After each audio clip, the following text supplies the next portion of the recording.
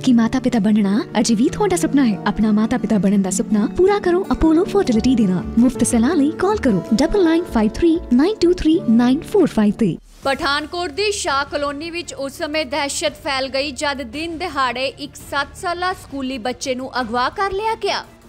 ਦੁਪਹਿਰ ਸਮੇਂ Swift car ਵਿੱਚ ਆਏ ਅਗਵਾਕਾਰ ਬੱਚੇ ਨੂੰ ਘਰ ਦੇ ਬਾਹਰੋਂ ਚੁੱਕ ਕੇ ਲੈ ਗਈ ਇਹ ਪੂਰੀ ਘਟਨਾ ਸੀਸੀਟੀਵੀ ਕੈਮਰੇ ਵਿੱਚ ਕੈਦ ਹੋ ਗਈ।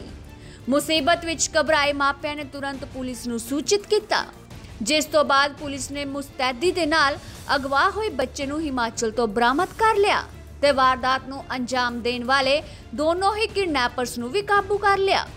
ਕਿਡਨੈਪਰਸ ਵਿੱਚੋਂ ਇੱਕ ਬੀਐਸਐਫ ਤੋਂ ਬਰਖਾਸਤ ਹੋਇਆ ਕਨਸਟੇਬਲ ਹੈ, ਜਿਸ ਨੇ ਆਪਣੇ ਸਾਥੀ ਨਾਲ ਮਿਲ ਕੇ ਵਾਰਦਾਤ ਨੂੰ ਅੰਜਾਮ ਦਿੱਤਾ ਸੀ। ਮਾਪੇ ਆਪਣੇ ਬੱਚੇ ਨੂੰ ਵਾਪਸ ਪਾ ਕੇ ਬੇहद ਖੁਸ਼ ਨੇ ਤੇ ਪੁਲਿਸ ਦੇ ਸ਼ੁਕਰਗੁਜ਼ਾਰ ਨੇ। मुझे कॉल आई थी घर से कि एकदम से बच्चे को कोई उठा के ले गया। और डेफिनेटली बीइंग अ फादर मेरा पैनिक होना बनता था। मैं एकदम से घबराया, मैं भागा गाड़ी लेके।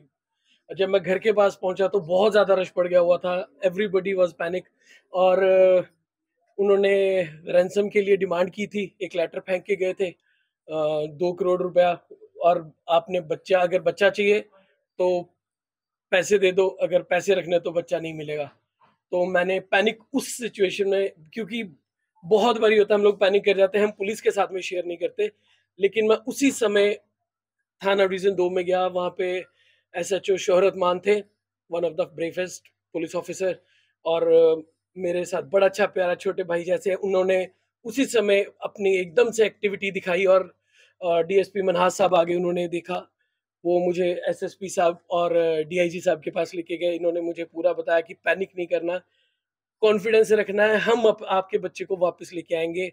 हमारी जो स्ट्रेटजीज हैं उसको फॉलो करना है। बिल्कुल कूल रखना है काम रखना है। बहुत टफ होता है बीइंग अ पेरेंट कूल काम रहना। लेकिन अ, मैं यहाँ पे एक चीज़ बोलना चाहूँगा। हम हम में से किसी ने भी हम सारे मैक्सिमम मतलब हम लोग जो हम पेरेंट्स हैं ना तो हम लोगों ने अगर एक जेनविन सी बात बोलूँ, हमने भगवान को रियली फेस टू फेस तो नहीं देखा होता, लेकिन भगवान के भेजे हुए जो ज़रिया होते हैं, जो डीआईजी साहब की तरह एसएसपी साहब की तरह, जितनी भी पूरी पुलिस टीम है अलग अलग सबके तो मैं नाम भी नहीं ले सकता। उसके अलावा मेरे शहर के लोग सबने इतना कोऑपरेट किया, पता नहीं कहाँ कहाँ से मुझे कॉल आ रहे थे, कितने हज़ारों फ़ोन आ गए, और सबकी ब्लेसिंग्स थी। सारे कह रहे थे, बादल भाई, आपने कभी किसी के साथ गलत नहीं किया, आपके साथ भगवान गलत नहीं होने देंगे।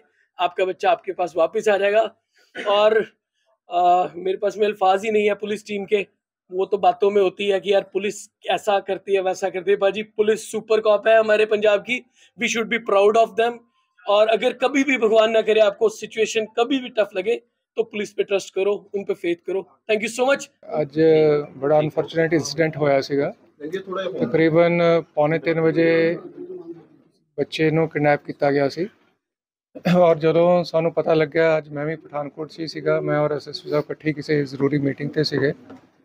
ਉਸ ਵੇਲੇ ਹੀ ਪੁਲਿਸ ਨੇ ਸਾਡੀ ਸਾਰੀ ਪਠਾਨਕੋਟ ਦੇ ਜਿੰਨੇ ਵੀ ਸਾਡੇ ਅਫਸਰ ਆ, ਸਾਡੇ ਐਸਐਚਓ ਸਾਹਿਬਾਨ ਆ, ਔਰ ਜਿੰਨੇ ਵੀ ਸਾਡੇ ਸਾਰੇ ਕਰਮਚਾਰੀ ਆ, ਸਾਰਿਆਂ ਨੇ ਉਸ ਵੇਲੇ ਕੰਮ ਸ਼ੁਰੂ ਕਰ ਦਿੱਤਾ ਗਿਆ। ਬੱਚੇ ਦੇ ਪੇਰੈਂਟਸ ਨੂੰ ਵੀ ਅਸੀਂ ਉਸ ਵੇਲੇ ਮਿਲੇ। ਔਰ ਜੋ ਵੀ ਜ਼ਰੂਰੀ ਕਦਮ ਸੀ, ਅਸੀਂ ਉਹ ਕਦਮ ਲਏ। ਸਭ ਤੋਂ ਪਹਿਲਾਂ ਇਦਾਂ ਦੇ ਇਨਸੀਡੈਂਟ 'ਚ ਇਹ ਹੁੰਦਾ ਕਿ ਬੱਚਾ ਸੁਰੱਖਿਅਤ ਘਰ ਵਾਪਸ ਆ ਜਾਏ।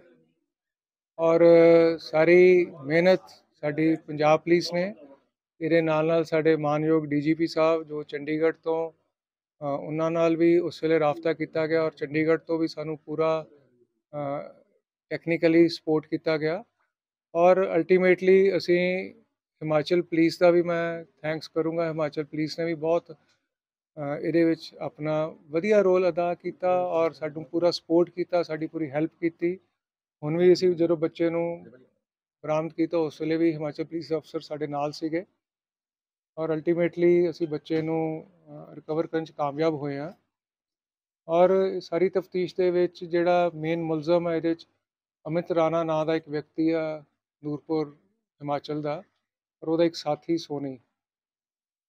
ਇਹਨਾਂ ਦੋਨਾਂ ਨੇ ਇਹਦੇ 'ਚ ਕੀਤਾ ਸੀ ਔਰ ਫਰਦਰ ਅਸੀਂ ਇਨਵੈਸਟੀਗੇਟ ਕਰਾਂਗੇ ਕਿ ਹੋਰ ਕਿਹੜੇ ਕੌਣ ਬੰਦੇ ਇਹਦੇ ਵਿੱਚ ਇਨਵੋਲਵ ਹੈਗੇ ਆ।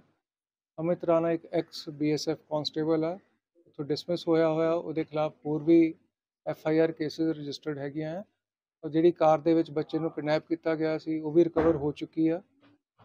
ਔਰ ਬਾਕੀ ਹੁਣ ਅਸੀਂ ਅੱਗੇ ਤਫਤੀਸ਼ ਕਰਕੇ ਕਦੋਂ ਤੋਂ ਸਰ ਇਹ ਰੈਕੀ ਕੀਤੀ ਜਾ ਰਹੀ ਹੈ? ਮੈਂ ਦੇਖੋ ਇਹ ਜੋ ਸਾਡੀ ਇਨਵੈਸਟੀਗੇਸ਼ਨ ਚ ਆਇਆ ਪਿਛਲੇ 3-4 ਦਿਨਾਂ ਤੋਂ ਇਸ ਚੀਜ਼ ਨੂੰ ਉਹ ਲੱਗੇ ਹੋਏ ਸਨ।